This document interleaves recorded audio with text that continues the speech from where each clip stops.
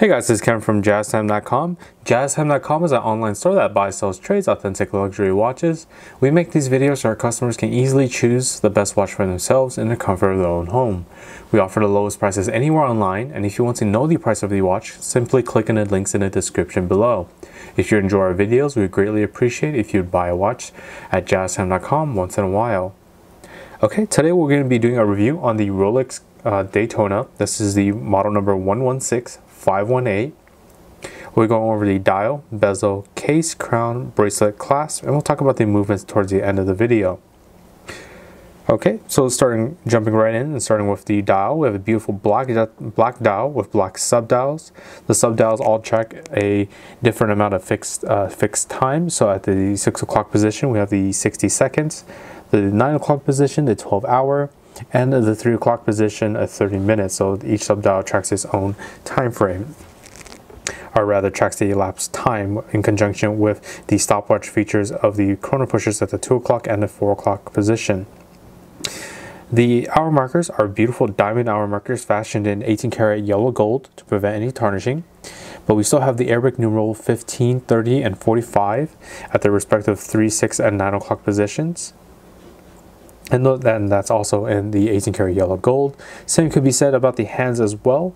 The hands are of 18 karat yellow gold with luminous tippings, meaning you can have visibility in the, visibility in the dark for this watch with a highly legible chromalight display. Um, so the, when it is um, when it is during the nighttime, the hands will glow and you'll be able to view the time much more easily. And you can also tell by the landmarks as well during the day from that 15 30 and 45 also with the crown logo at the 12 o'clock position. The Rolex the Rolex name underneath there with the superlative chronometer officially certified. I mean this watch is officially certified within the Swiss specs for the precision of minus 2 plus 2 seconds a day one thing to mention about the hands is that the hands actually the center, instead of being a full complete gold, is actually a black lining through the center of the hands, and it actually helps with readability during the day, so it's not has some uh, has a bit of contrasting. So as the sunlight immediately hits the dial of the watch, it's shining very beautiful, beautifully. Of course, very very pleasant to look at, but you also do still want to tell the time. That sort of small black line of contrast helps with that and viewing the time. We have the Daytona name and the red logo and the red texting above that 60 second subdial as well. Okay, and if you're not interested in this specific dial, or if you like the diamond hour markers, the Daytona does come in different dial styles as well.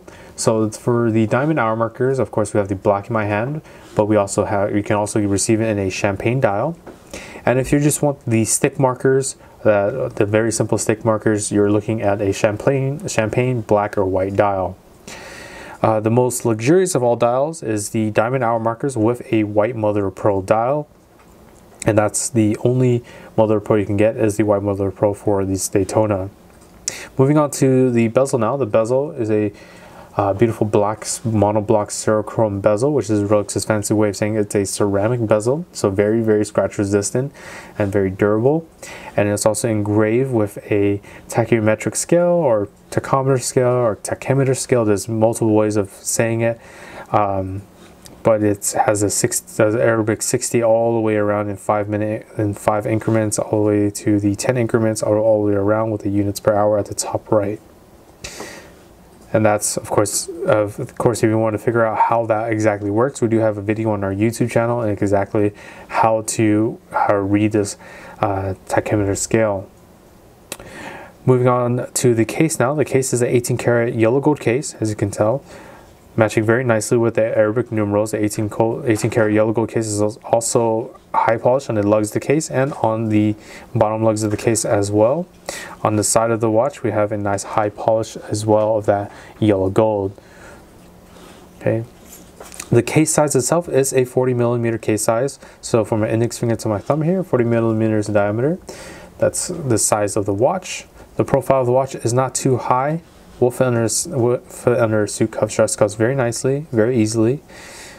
On the other side, we have that nice high polish once again, the chrono, the two chrono pushers, the two o'clock and the four o'clock, and the Rolex crown logo on the main crown itself. Moving on to the crown functions now, the crown simply unwinds counterclockwise as shown. And in the standard position here, you can wind the watch 15 and 20 winds is all you need from a dead stop to get the watch started once more.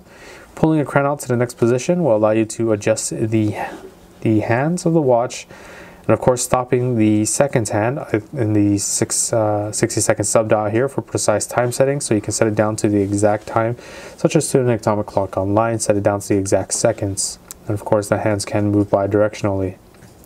Pressing the crown back in will start that sub, bottom sub down once more. And always make sure to screw the crown nice and tight in against the case. As you want to keep this watch water resistance for the 100 meters or 330 feet for the chrono, the chrono pusher features, simply unwind counterclockwise as shown.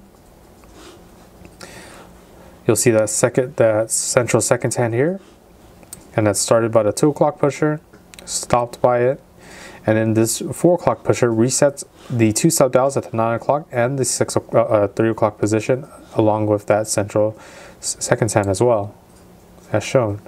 of course, make sure these are screwed nice and tight back in the case after you're done using that feature. Moving on to the to the strap now. The strap is a beautiful rubber strap. This is called the Oysterflex strap. It's made by Rolex.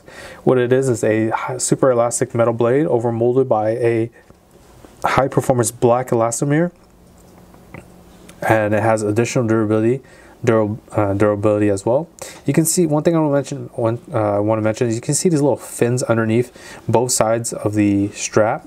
So there's one right here, one little rubber fin, and kind of like, it, actually what it does is it helps balance the watch on the wrist so it isn't shuffling around too much. It'll fit nicely on the wrist, but also it also it's kind of hard for the light to capture, but you can kind of see that it's kind of hollow down the center as well, and that promotes airflow through through that um, through that raising of raising of the strap so your wrist doesn't get as sweaty as you would just having a strap just against the skin. So very, very nice Rolex to make. Moving on to the clasp now. The clasp is just a uh, safety folding oyster clasp as located. This is the safety here. Is this little lock that sits on top of the folding oyster that opens up as so revealing these high polish, this high polished clasp blade with the Rolex name embossed on there.